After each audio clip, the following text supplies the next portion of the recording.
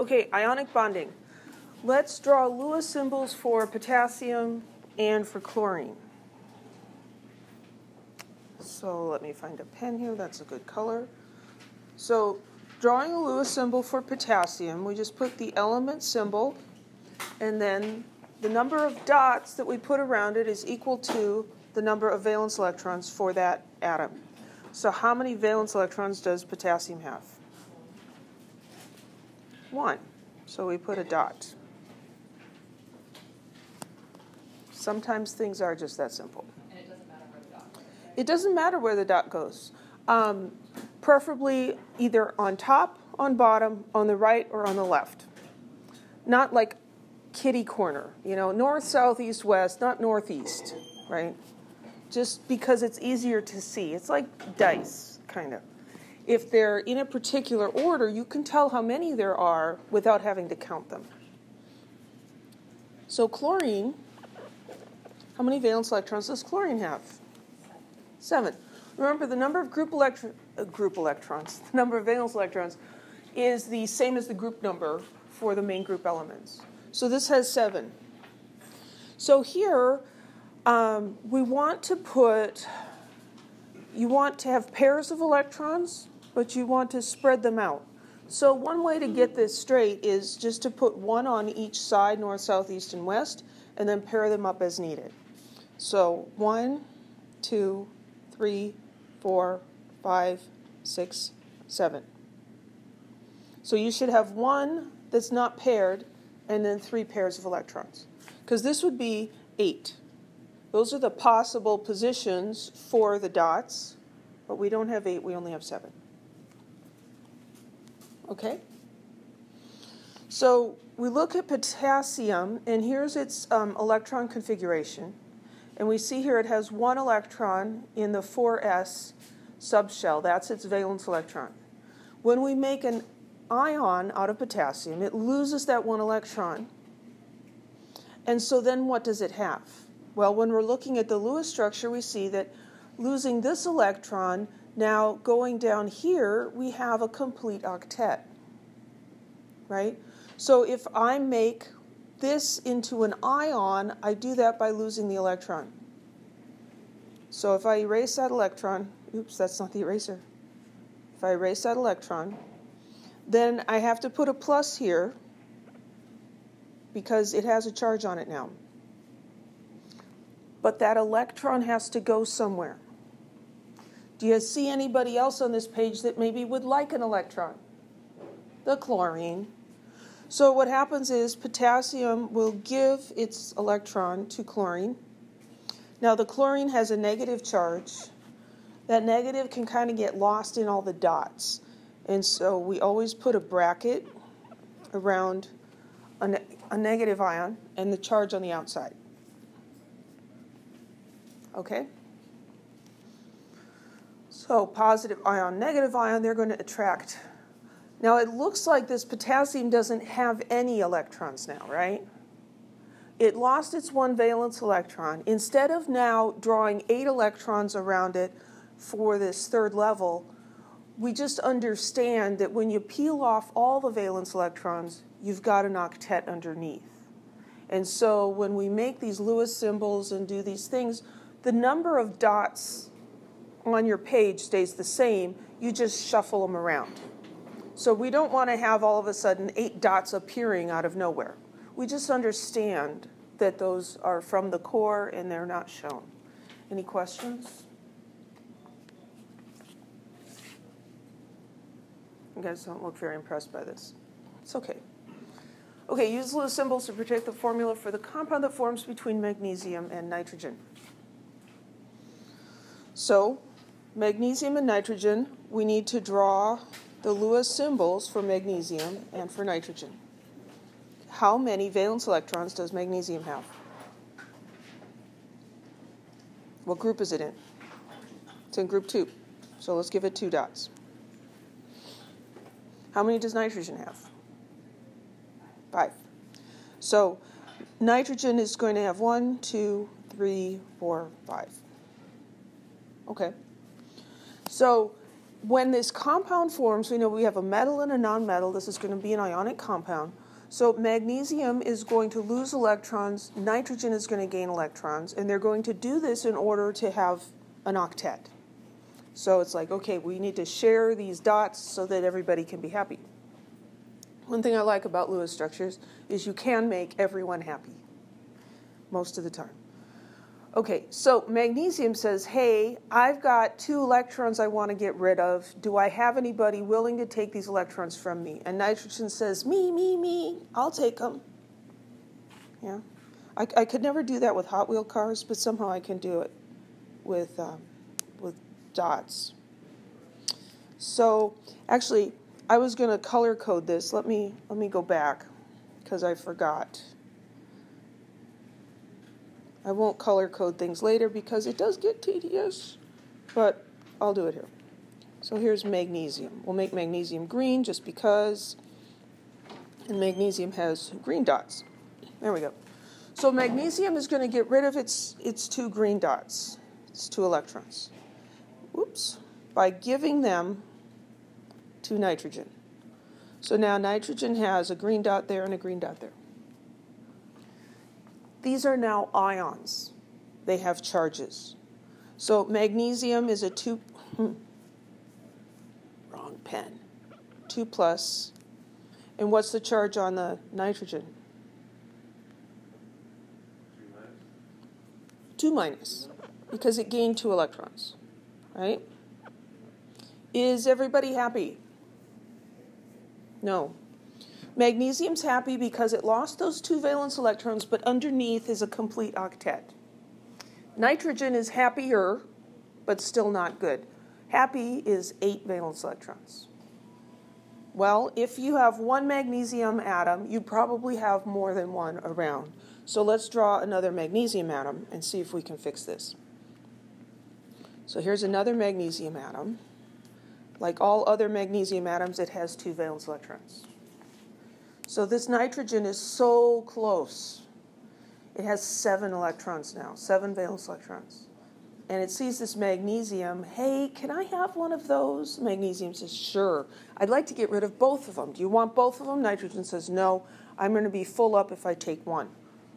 But magnesium says, well, getting rid of one is better than none at all, so I'll give that to you. Now, the charge on the nitrogen has changed because the nitrogen has gained three electrons. So the charge is now 3 minus. Everybody okay with that?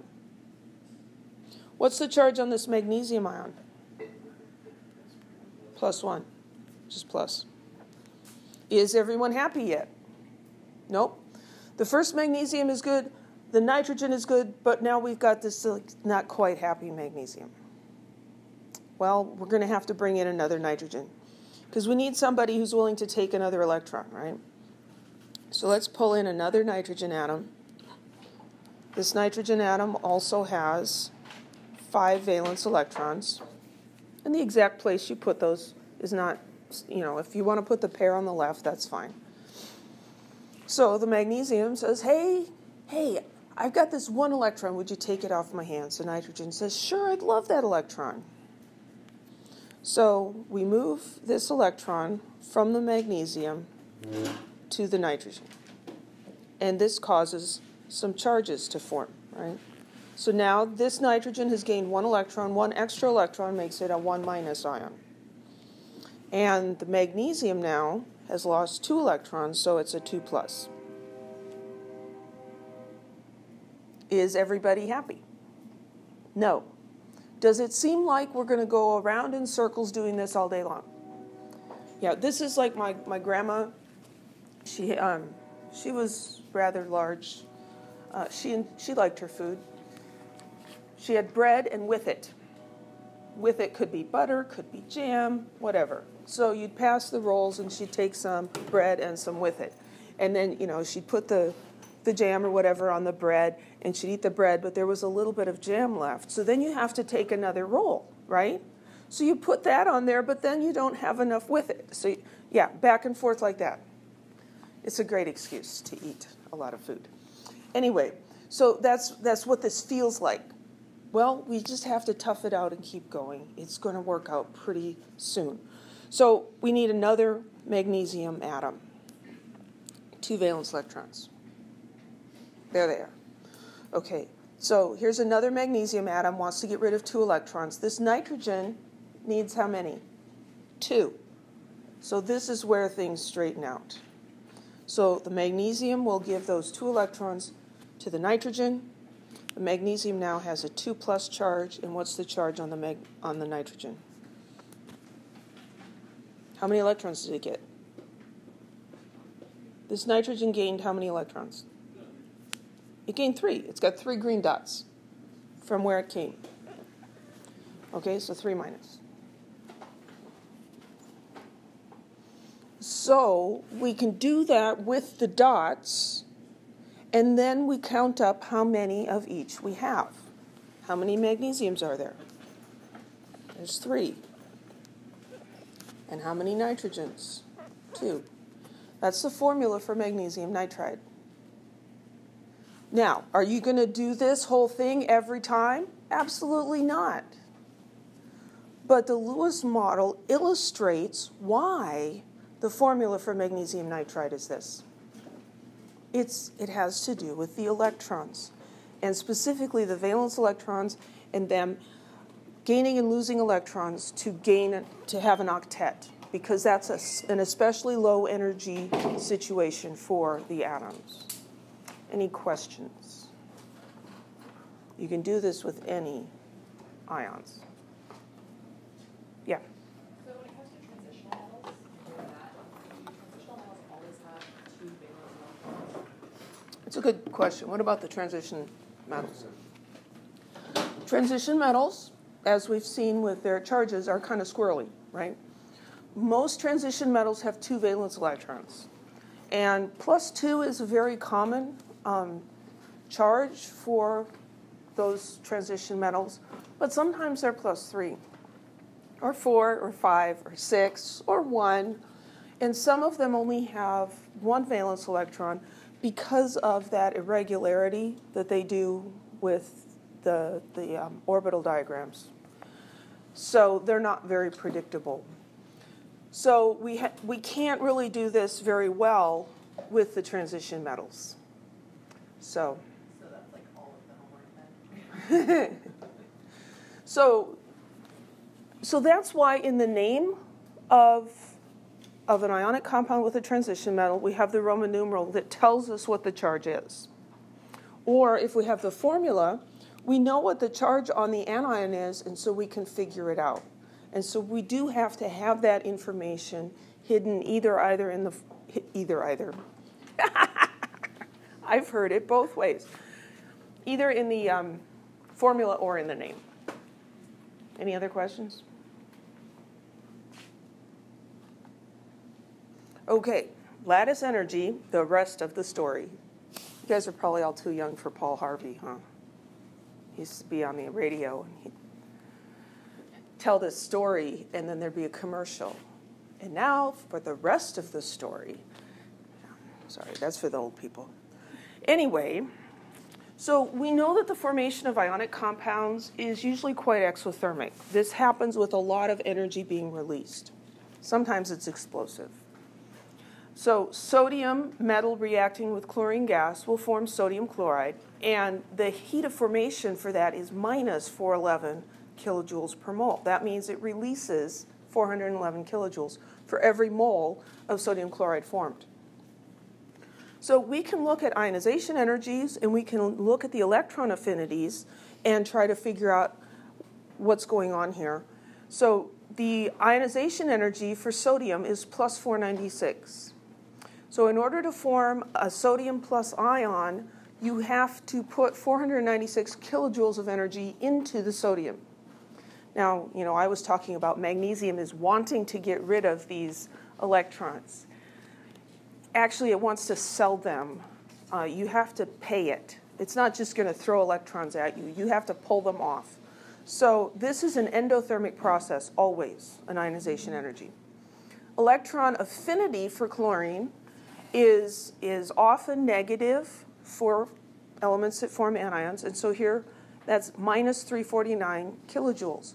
When you give an electron to chlorine, it releases 349 kilojoules of energy. So if we add these two together, we can see that the transfer of an electron from sodium to chlorine actually is endothermic. It absorbs 147 kilojoules per mole. And yet when we do the reaction and measure it, we get a release of 411 kilojoules per mole. That doesn't add up, so we must be missing something. And the thing that's missing here is something called lattice energy. So, lattice energy is the energy associated with the formation of a crystalline lattice of alternating ions. So, you make the ions, the sodium ions and the chloride ions. Now they are attracted to each other and they're going to stick together like those magnetic building toys, right? And so that is a spontaneous, an exothermic process. And the potential energy is lowered when those opposite charges come together. They're attracted to each other. So as they come together, they release energy, and that energy is released as heat. So this is important to understand. We talk about it a little differently because that helps us to remember what's going on. But this is, this is the truth here. The formation of ionic compounds is not exothermic because the metal wants to lose an electron and the nonmetal wants to gain an electron. It's exothermic because there's a large amount of heat released when the cations and anions coalesce to form a lattice. So you make the ions, and you know they're separated from each other, and when they come together like magnets together, that releases energy. Does that make sense? Because opposite charges don't want to be separated. Think about two magnets especially two really strong magnets. You know, those neodymium ones are really fun. Also very dangerous if you eat them. Don't eat them. Um, it takes a lot of energy to pull them apart, right? If it's energy to pull them apart, then when they go together, they release energy. So this is like magnets clicking together. Does that make sense? So here we have a whole bunch of sodium and chloride ions that are separated from each other and when they whoosh, stick together, they release energy. The energy that's released there is the lattice energy.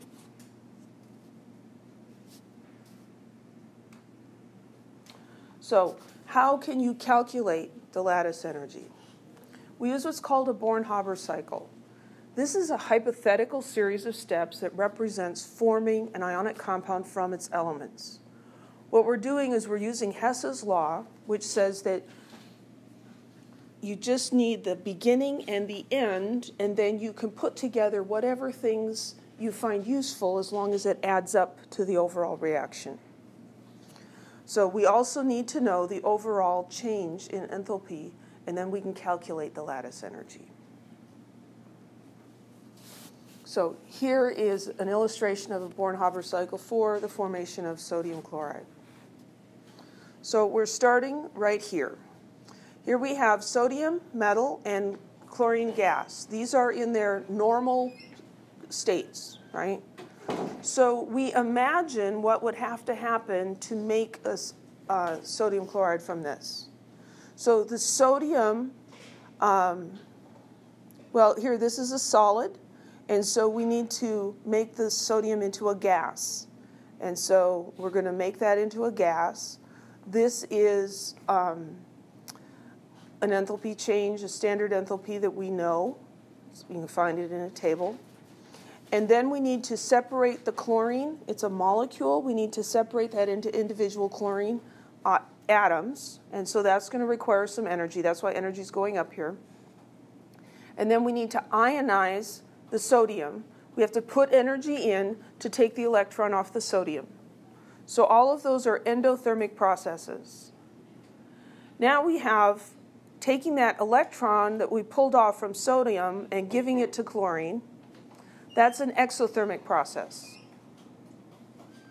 Now we have the ions, and they can be attracted to each other and form the ionic compound as a solid. And so that energy change is pretty exothermic and that's going from here all the way down to there. That's not something that we can measure directly. We can measure each of these steps, but we can't measure this lattice energy. But we can measure the overall heat of formation going from sodium and chlorine to sodium chloride in the solid state. And so when we know all of the pieces, my stupid pointer, except for this one, we can get that by subtracting and adding. So we've got this, all the, all the arrows pointing up would be plus, and all the ones pointing down would be negative. And we add them together. Does that make sense? You could think of this in terms of um, a change in elevation. That maybe you were going, um, you're starting here and you're going to end up here. And you want to know there was also this place in here. And you want to know how far this is. But you can't measure it directly. But you can go like this. And you can measure this step and this step and this step and this step and this step. And then you could figure out the blue, right? If you were going you were starting here and you went up and up and up and then you came down a little bit and then you know that overall from the beginning to the end that's here and so then you could find this difference. Engineers end up having to do that sort of thing, except way more complicated. Any questions? This is Hess's law. You could take all of these um, chemical equations and add them together, and you could take all the changes in enthalpy and add them together, and that's what we're doing here. So there are trends in the lattice energy, and we need to um, have a basic understanding of these. One of the trends is ion size. So we can we can we can determine the lattice energies for these different metal chlorides. So lithium, sodium, potassium, and cesium. These are all alkali metals. And we see there's a trend here. The lattice energy is more negative, more exothermic for lithium chloride. And as we go to sodium, potassium, and cesium, it becomes less endothermic exothermic, sorry, less energy is released. And that has to do with the size of the metal cation. So we learned earlier when we talked about periodic trends that as you go down a group in the periodic table, the size of the atom or the ion increases. And these are all with chlorine, right? So lithium here is the smallest ion, and then sodium and potassium and cesium is the largest. Well, the lattice energy is affected by how close those atoms can get. And so we could look at their bond length, um, and we see that because lithium is a smaller ion, the distance between the lithium nucleus and the chloride nucleus is only 241 picometers. And as the size of the cation increases, the distance between the centers of those ions increases. And we learned that Coulomb's law tells us that the energy is proportional to 1 over the distance between those charged objects. Okay, think magnets on the fridge. You got a magnet on the fridge, nothing between the refrigerator and the magnet sticks really great. Put three pieces of paper under there, and now, you know, depending on the strength of the magnet, you might see the paper, you know, the magnet's stuck, but it's just slowly sliding down the fridge. Does that ever happen to you? It's just that little bit of change in the distance, the separation caused by the three pieces of paper that changes the attractive force. So this is like putting more and more sheets of paper between the magnets. There's more distance, and so the force of attraction is less, and the energy released when that happens is less. Does that make sense? Another uh, thing that affects lattice energy is the charge on the ions. So Coulomb's law tells us that the energy is proportional to the charge on one times the charge on the other.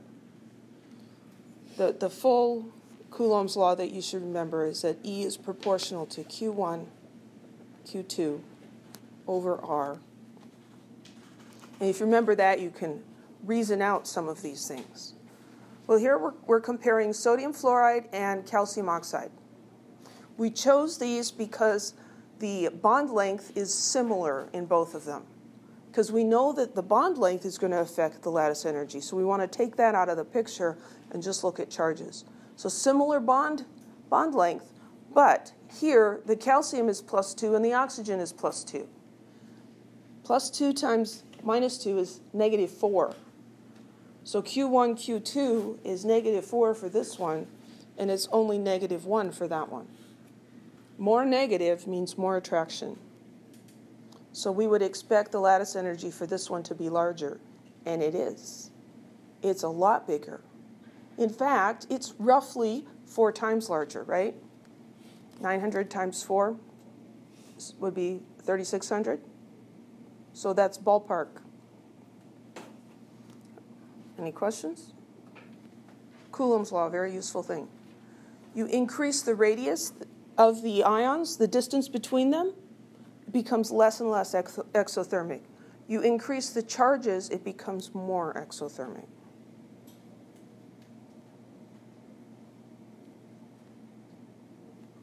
That's what I just said.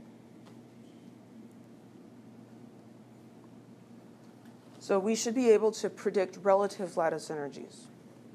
So arrange the following in order of increasing magnitude of lattice energy. Lithium bromide, potassium iodide, and calcium oxide.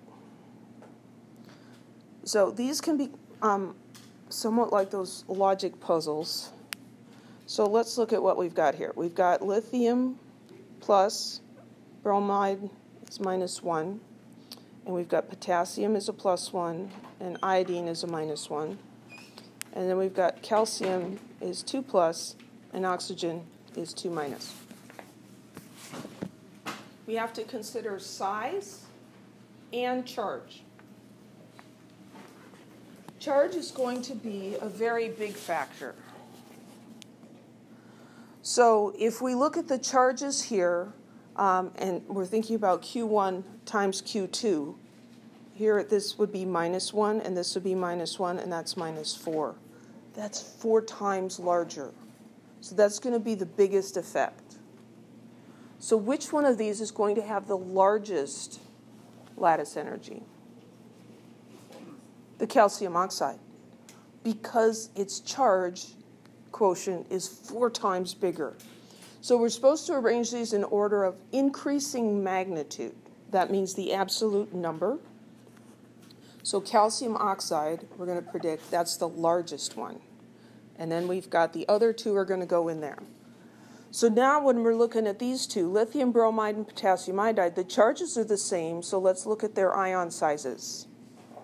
So if we look at bromide and iodide, okay, here's bromine and iodide. Which one's bigger? Iodide or bromide? Iodide. So bromide is smaller and iodide is bigger. This is looking at the size. And then let's look at lithium and potassium. Those are over here. Here's lithium and here's potassium.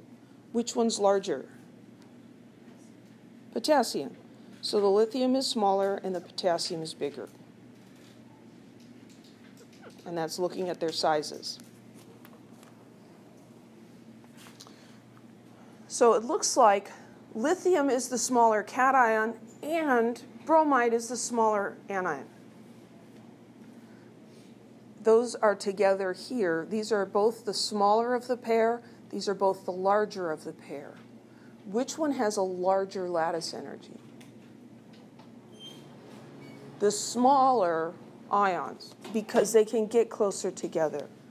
So the one with the smaller ions is in the middle, and the one with the big ions is over here at the beginning. Any questions? There will be a question like this on the next exam, guaranteed. Not those same compounds, but something just like it.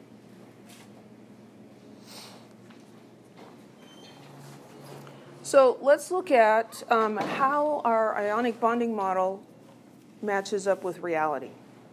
does this explain our observed properties of ionic compounds? We observe that ionic compounds have high melting points. This is because, and it is explained by the fact that these ionic bonds are non directional. So you have attractions for this sodium ion, you have attractions with the chloride ions in all directions. And so that is going to be stronger than a covalent bond where you just have attraction in one direction. So a high melting point corresponds to strong attractions. So that works. Um, ionic compounds as solids do not conduct electricity. A solid block of salt won't conduct electricity. So these are non conductors. Um, and this model explains that because in, in the solid here, the ions are fixed in place, they can't move. In order for current to um, be conducted, there has to be some charged thing that can move. Now, we know that um, if we melt this ionic solid, did you know that you can melt table salt? You can. Uh, probably not at home in your kitchen. It melts at a very, very high temperature, but it can be melted. If you melt it, then the ions can move, and molten sodium chloride will conduct electricity. We know that solutions of ionic compounds conduct electricity. So here's the solid, will not conduct electricity. When we put the sodium chloride in water, the ions are able to separate from each other, and now the light bulb goes on, it can conduct electricity. So this model does explain ionic bonding. Any questions?